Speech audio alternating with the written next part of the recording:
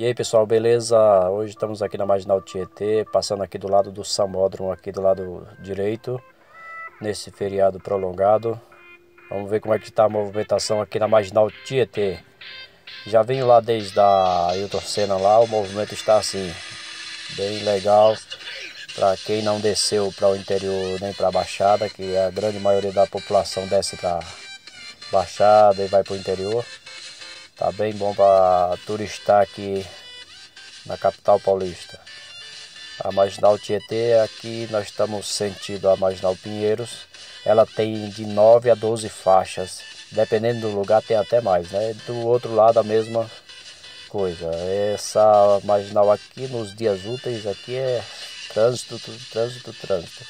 E Assim, para você encontrar ela assim é muito difícil. É acertar na Mega Sena. Aqui você consegue até ter uma visão legal da região, dá para ver os prédios lá no fundo, lá, bem legal aqui. Quando você vem nos dias normais aqui, você nem presta muita atenção nessa, nessa região. Ela tá mais arborizada, tá mais legal. Essa é a marginal Tietê, ela é tipo anel viário, ela dá acesso à maioria das rodovias do estado de São Paulo.